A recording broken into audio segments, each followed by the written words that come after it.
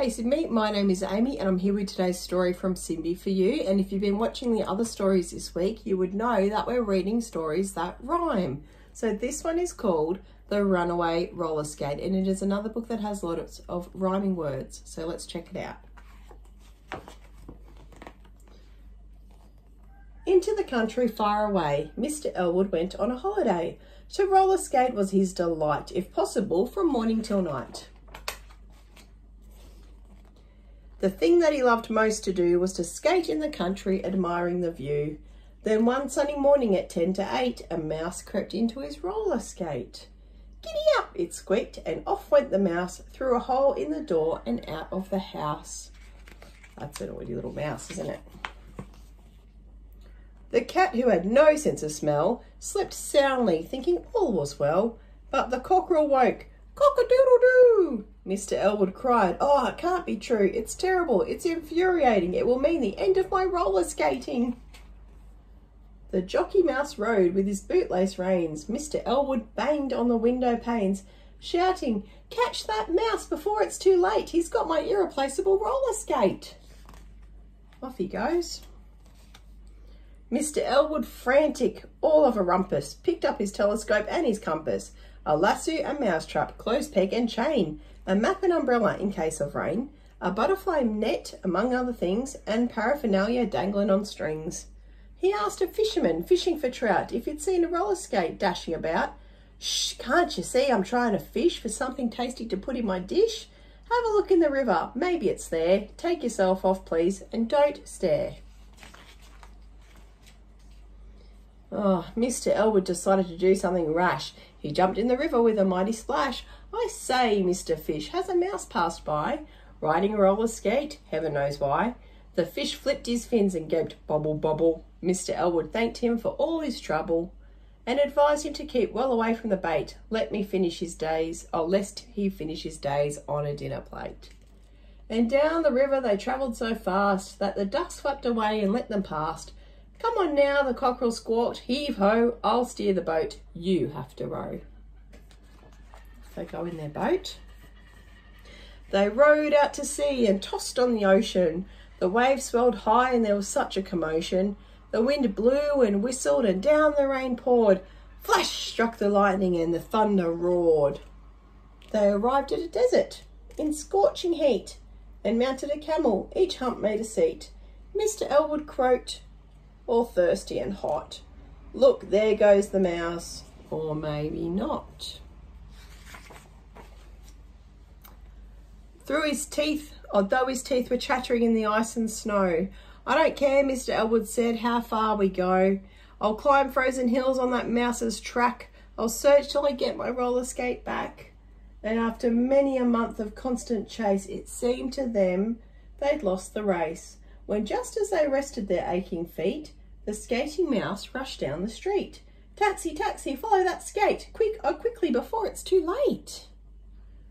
Mm, there he goes. Whoosh. With a terrible sound of screeching wheels, the cab pulled up at the mouse's heels. They chased him through rotating doors into a building of 20 floors. Mr. Elwood asked the girl in the hall if he might make a telephone call. Without looking up, she said, yes, but sign here first above the dotted line. He started each call, Sir, strange to relate, I'm looking for a runaway roller skate. Each man he rang passed him on to another until someone said, you want Big Brother. Big Brother is the boss in the office upstairs. No one ever sees him and no one cares. Mr. Elwood glimpsed the mouse across the floor, run down a passage and through the door. I wonder if he's going to catch this mouse. He rushed to the room where sat a stern man. In a trembling voice, Mr. Elwood began, Dear sir, please help me. I'm in such a state. A mouse has gone off with my roller skate. I'll assist if I can, but I'm terribly busy. I do nothing all day, but it makes me feel dizzy. Now let me see a mouse on a skate. Sharpen my pencils and I'll put you straight. The pencils were heaped all over the floor. Big ones, little ones, what a chore. He must have sharpened nearly a million black ones, green ones, purple vermilion. When outside the window a dark a dart glided past, with the mouse and the roller skate tied on fast. Look.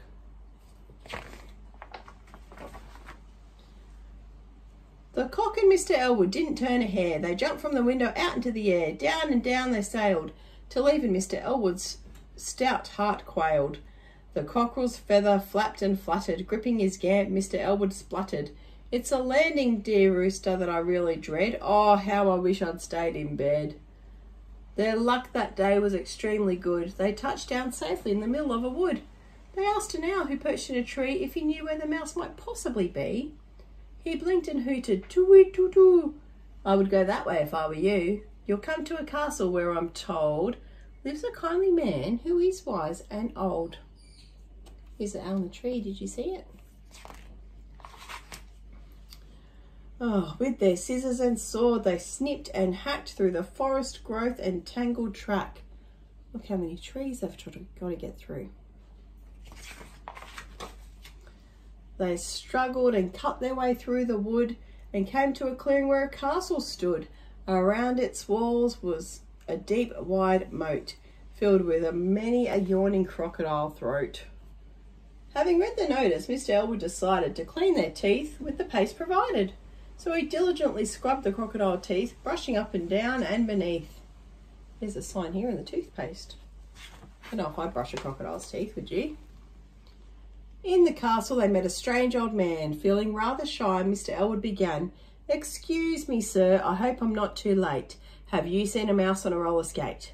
The ancient replied with a prompt decision, We can track his course on that television. Please accompany me. It's not very far. We can travel on foot. We don't need a car. See, the mouse had gone to that house on the hill. If you make haste, you should be there still. Mr. Elwood thanked him for being so kind, for mice on roller skates are hard to find. Look, crowed the cockerel, that's our house. Let's hurry up and catch that troublesome mouse. Well, said Mr. Elwood, I think you're right. We'll be able to sleep at home tonight. Look, there's a skate on the bedside mat. The mouse isn't there, only the cat. Never mind the mouse I'd hoped to capture. I found my skate with joy and rapture. At last, Mr. Elwood went to bed, glad to rest his weary head. But suddenly the poor man woke, crying aloud, Is this a joke? Good heavens, what on earth is that? Tiptoeing across the mat. Oh no, alas, what grief and pain. It's that mean and measly mouse again. Do you think it's going to happen again? I hope you enjoyed the story. Bye.